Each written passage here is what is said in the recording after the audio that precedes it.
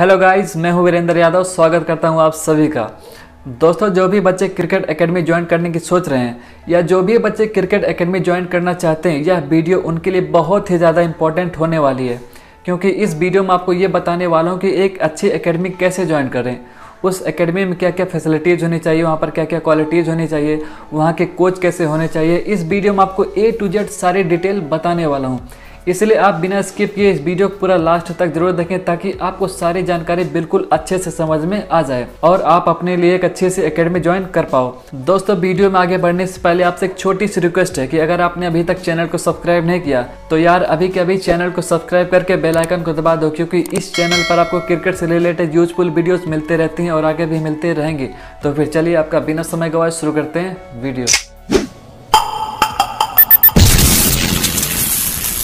दोस्तों, जो सबसे पहली बात आपको ध्यान में रखनी है, वो ये है कि आप जिस भी एकेडमी में एडमिशन लेने जा रहे हो, सबसे पहले आप ये पता कर लो कि वह एकेडमी डीडीसी यानी Delhi and district cricket association से जुड़ा हुआ है या नहीं। क्योंकि आजकल बहुत सारी ऐसी एकेडमी है जो क्रिकेट के नाम पर पैसा कमाने का कारोबार चला रही हैं।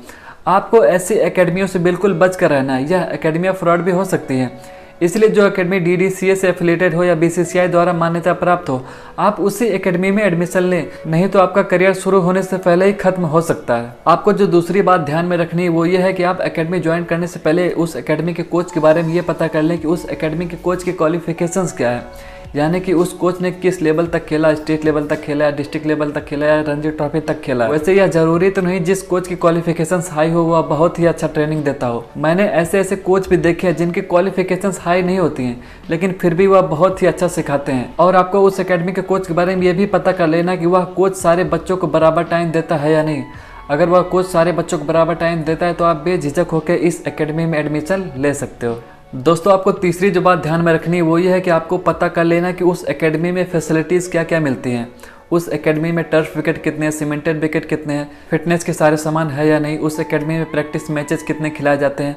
अगर वहाँ पर ये सारी फैसिलिटीज़ मौजूद हैं तो आप बेझिझक होकर इन एकेडमियों में एडमिशन ले सकते हैं। दोस्तों, आपको चौथी जो बात ध्यान में रखनी है, वो ये है कि आपको उस एकेडमी के बारे में ये पता कर लेना है कि उस एकेडमी का खुद का कोई ग्राउंड है या नहीं।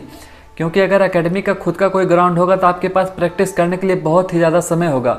आप कभी भी जाकर वहाँ पर प्रैक्टिस कर सकते हो। और मान लो अगर आप उस एकेडमी के पास खुद का कोई ग्राउंड नहीं है तो आप ये पता कर ले कि वह एकेडमी सप्ताह में कितने प्रैक्टिस मैचेस खिलाती है। क्योंकि जब तक आप प्रैक्टिस मैचेस नहीं खेलोगे, तब तक आपको अपने अंदर की एबिलिटीज़ के बारे में पता नहीं चलेगा। इसलिए आप जितना ज़्यादा प्रैक्टिस मैच खेलोगे, उतना ही ज़्यादा आपके अंदर निखार भी आएगा और आपको अपने एबिलिटीज़ के बारे में पता भी चलेगा। इसलिए अगर वह एकेडमी सप्ताह में कम से कम तीन मैच खिलाती है तो आप उस एकेडमी को ज्वाइन कर सकते हो। तो दोस्तों, यह थी एक अच्छी एकेडमी ज्वाइन करने की टिप्स अगर आप इन चारों बातों को ध्यान में रखकर एकेडमी चूज़ करते हो तो यकीनन आप अपने लिए एक बेस्ट क्रिकेट एकेडमी चूज़ कर सकते हो।